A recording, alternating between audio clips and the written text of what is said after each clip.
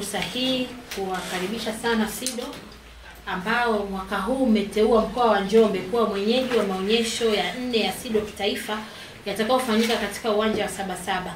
Uwanja wa Sabasaba uko katika mji wa Njombe ambao mji wa Njombe uko katika wilaya ya Njombe. Kwa hiyo tunatarajia e, siku hiyo kuanzia tarehe ishirini na moja mpaka tarehe thelathini na moja Oktoba tutakuwa na tukio hilo kubwa la kitaifa mwaka huu mwaka 2023. Napenda tu kuwataarifu wananchi wote na kwa furaha kubwa kwamba tuweze kushirikiana kwa sababu sisi mkoa wa Njombe kwa kushirikiana na SIDO tunaanzisha kuanzia leo maandalizi ya tukio hili kubwa. Hamasa ndo kama hivi, waandishi wa habari leo tumeitana, tunapeana kwanza taarifa. Lazima tupokee maonyesho haya kwa heshima na kwa shamra shamra zote.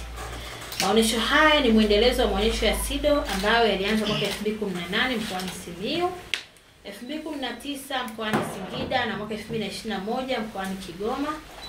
Mafanikio na mwitikio wa wajasiriamali, wadau mbalimbali na wananchi katika maonyesho hayo yameonyesha uhitaji na kupelekea uandaaji wa maonyesho ya nne ya SIDO kitaifa yatakayofanyika mwaka huu mwaka 2023 mkoani Njombe.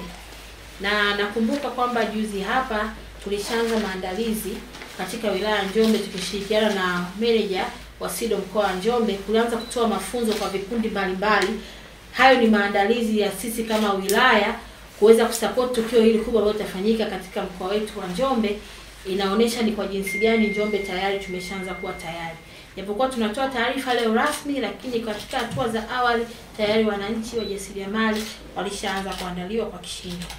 Maonesho ya SIDO kitaifa kwetu sisi ni fursa kubwa na ni fursa adimu, kwa sababu haiwezi kwenda kwa kila mtu, na kwa wajasiriamali wote ambao wenye viwanda, wadau na wananchi kwa ujumla.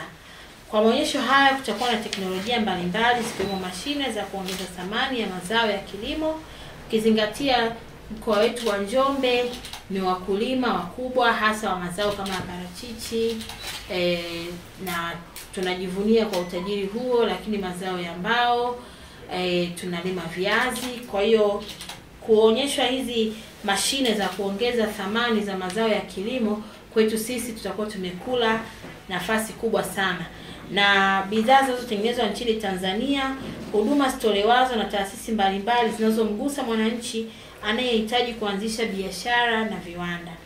Aidha, maonyesho haya yatatangaza fursa mbalimbali za mkoa wa Njombe na mikoa jirani na wilaya jirani katika kuendeleza na kukuza shughuli za kiuchumi.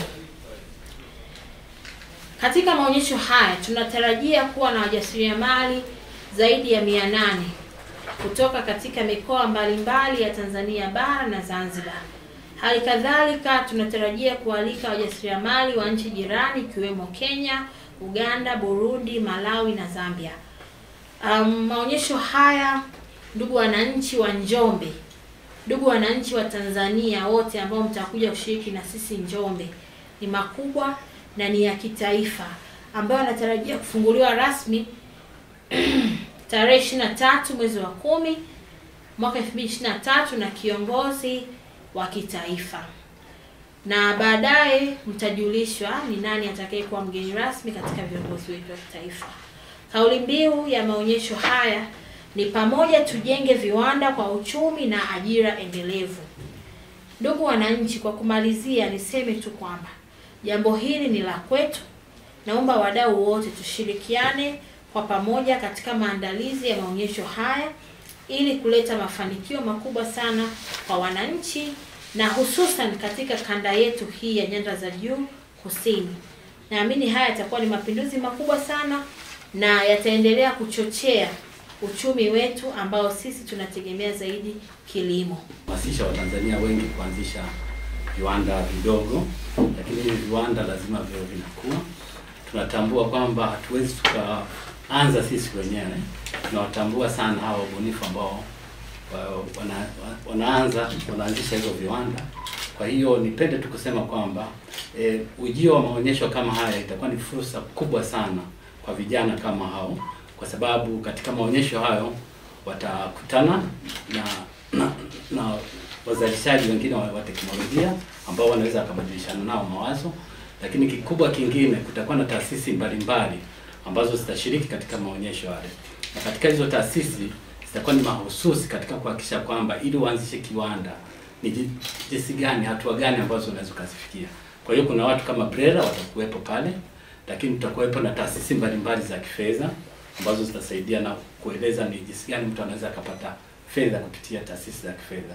E, kuna mikopo, lakini kuna taasisi zingine sasa zinatoa uh, mikopo ambayo ni mahususi kwa ajili ya wajasiriamali hao, lakini SIDO tutakuwepo pale kuhakikisha kwamba na sisi tunazungumza, tunatoa uh, taarifa kuhusiana na huduma zipi ambazo tunazitoa, na moja ya huduma ambazo tunazitoa ni kuhakikisha kwamba tunashirikiana au tunahakikisha kwamba hao watu ambao umewazungumza basi nao tunaweza tukawabeba na kuhakikisha kwamba wanatoka pale walipo na kuendelea kukua kadri siku zinavyokwenda. Kwa tunaamini kwa ujio wa teknolojia mbalimbali, watu wengi wataweza kuanzisha viwanda vidogo na watajifunza pia, na watakuwepo pia taasisi za kifedha na nini na na taasisi zingine zitakazowezesha kusajili makampuni kama brera watakuwepo watu wa vipimo, watakuwepo watu wa TBS. Kwa hiyo itakuwa itakuwa itatia hamasa sana na kuibua watu mbalimbali kuweza kuhakikisha kwamba biashara zao na viwanda zinakaa vizuri. Viwanda vinavyotengeneza vifungashio viko kama viwili tu, kwa hiyo kuna gepu kubwa sana, lakini bado ni fursa kwa, kwa watu wetu kuwekeza kwenye vifungashio. Tunajua tuna kiwanda kimoja kinazalisha mifuko na kingine mifuko, na ni mifuko ya kawaida kwenye kufungasha, kubebea vitu uh, masokoni na maeneo mengine. You are watching Digital News Tanzania.